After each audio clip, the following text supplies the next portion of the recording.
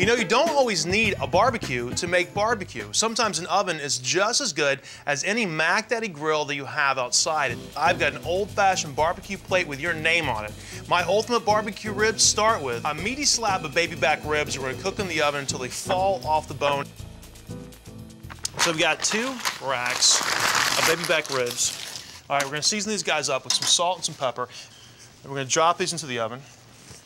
Uh, get some fresh cracked pepper. The flavor is gonna taste fantastic and it's gonna have a beautiful color all at the same time. And then halfway through the process, we're gonna start to baste it with a sauce. All right, into the oven, low and slow, 250 degrees um, for probably two hours. All right, we're gonna drop these guys in.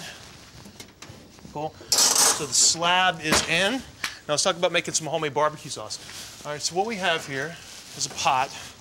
Now there's something about, you know, buying the stuff in a jar, but there's also something about making it yourself. And it doesn't take that much time. It's just basically like putting a couple of ingredients into a pot and just kind of let it simmering away. So what we're gonna do is start off with some smoked bacon.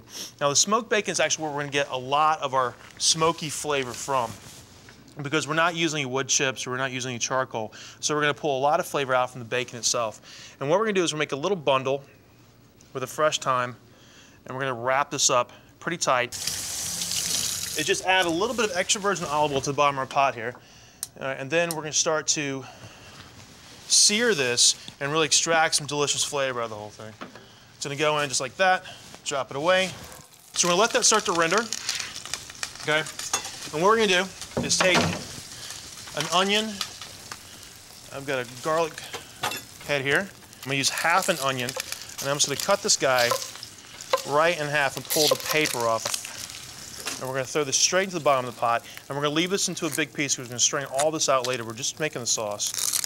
And we're gonna let this start to simmer away. Okay, then we're also gonna do the same thing with the garlic. We're just talking about a couple of pieces here. All right, we got two cloves, maybe three. And we're gonna smash the paper off and throw them in as large, big, chunky bits. Okay, take the paper off. All right, we're gonna throw them right into the pot. You definitely want a lot of garlic uh, because it's gonna taste delicious with the pork and it's really gonna make the sauce nice and bold. It's gonna let everything start to do its thing, right? So we've got some great base flavor here. All right. Now what we're gonna do is add some base to the sauce. We're gonna add some ketchup, some peach preserves. And we've also got some spicy Dijon mustard.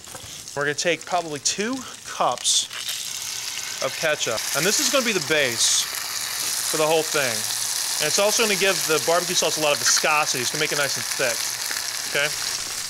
I'm gonna drop that in. All right, then we're gonna take our peach preserves. Peach and barbecue taste really, really good together. Isn't that great? Now we're gonna start to balance out our flavor with the Dijon, so it's nice and spicy. And if you don't have Dijon, you can certainly use mustard powder. But I think the, the spice really kind of comes out with Dijon mustard. Okay, so we got that. Now let's talk about some spices. We got some other things here, okay? We've got some paprika. I love a little bit of cumin in mine, which I think is gonna be really delicious. All right, we've also got some molasses, some red wine vinegar, and some brown sugar. So we got about a quarter cup of molasses. Okay, we got the same thing with brown sugar. Okay, we take a whole fresh box of this stuff. The brown sugar is really delicious too. Brown sugar is going to go in.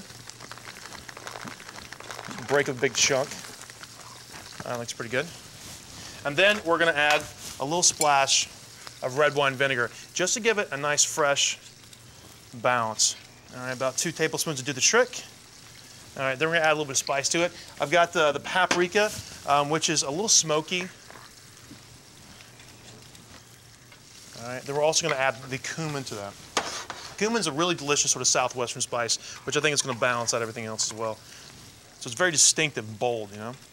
All right, a little bit of cumin. All right, we got some salt.